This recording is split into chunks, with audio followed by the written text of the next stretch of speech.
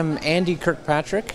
I am a professor of trauma and critical care medicine from Calgary, Alberta, Canada. I'm also a reserve major in the Canadian Forces. Um, it is a huge honor and a pleasure to be here in uh, Bergamo um, and meeting new colleagues and old friends and uh, being asked to speak. Um, my topic that I was asked to speak on is the open abdomen for trauma.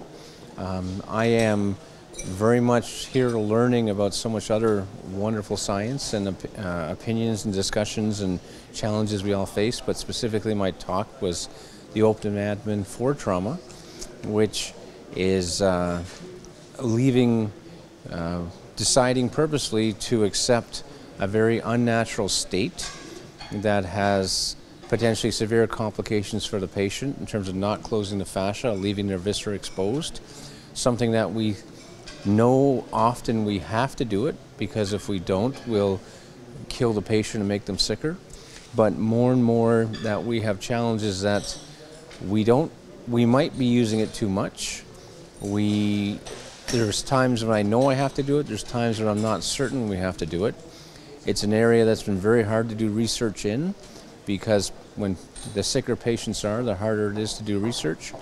But more than ever now, with changes in resuscitation, there are cases where I would have clearly used the open abdomen 10 years ago, when now I think I don't have to, and um, we have a dilemma. And I think uh, resuscitation has changed so much, and overall care has gotten so much better that there are times now when a very sick patient might not have to have an open abdomen, and um, I am trying to close them more, and we're actually engaged in supporting uh, research going on that will answer this question in a randomized trial. And we're also looking at a randomized trial in open abdomen in non trauma patients.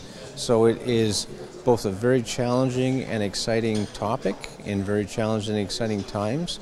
All uh, um, and it's uh, it's kind of a gift to be able to um, try to make people's lives better and learn knowledge and to work with amazing colleagues from around the world and to be invited to somewhere as nice as this to talk about all this.